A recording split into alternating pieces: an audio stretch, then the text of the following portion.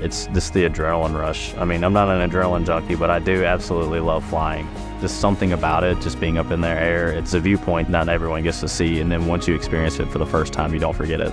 You just constantly crave that. So whether that's in an airplane or flying a drone, and just the opportunities that come with that and the experience you gain is so fulfilling. Growing up, my dad was a pilot. As a toddler, my dad just put the car seat in the back of his plane and we went flying. I probably have around 1,100, 1,200 hours of just flying with him.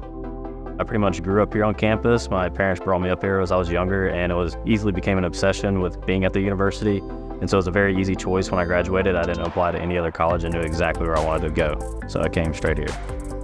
So I graduated from the University of Alabama in 2019 with a degree in operations management with a specialization in supply chain. I moved down to Florida and worked for a cold freezer company and was a transportation manager. And my passion was aviation and aerospace. Being down on the space coast of Florida, I got to see the SpaceX rockets take off all the time and that has just completely changed my life because I've always been interested in airplanes. I never really saw myself pursuing an education in aerospace and aeronautical engineering. But once I determined that's exactly what I wanted to do and I realized that's where my true passion was, I came straight back to the University of Alabama to pursue that. My college experience is completely different this time. I've become more interested in doing work on campus, joining the Logger Lab and becoming part of the Remote Sensing Center has played a huge role. It's given me plenty of opportunities and experience as an undergraduate student to understand what it is to be part of the aviation industry in some sort. And that's where I became obsessed with drones, UAVs, microcontrollers, and all that technology. For me, that was the easiest thing to get into, to be relatively close to flying. Flying an airplane is very expensive, but to fly a drone, it's only a few hundred bucks, and if you do it yourself and take the time and the skills to learn it, you can make it out for a lot cheaper. And that was my interest in it. Was I wanted to learn things. I want to learn how to build, how these things work. And so there's a massive field that I did not know existed, and the university has brought that to me. And it's a huge passion I have, and it's something that I really want to make a career in.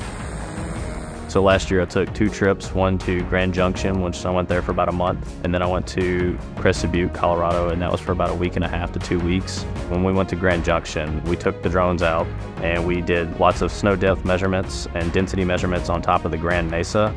And if you don't know about the Grand Mesa, it's one of the largest flat top mountains in the world and it sustains a lot of snow on top. And when we do passes over the top, we'll take small grid sections with a drone and calculate the snow density and measurements and then kind of give that data off to NOAA and then they can forecast how much snow will melt and then go into the Colorado River and kind of give an indication of how much water will be put into the Colorado River. The university offers lots of opportunities for undergraduate students. In my case is excellent because you could see in the trips that I've been on, the places I've been to, the experiences that I've gained is tremendous. I think it plays a huge role because it kind of defines of what I want to do after I graduate. I know where I want to go. Now that I do, I can hone in on my skills and become excellent in my field.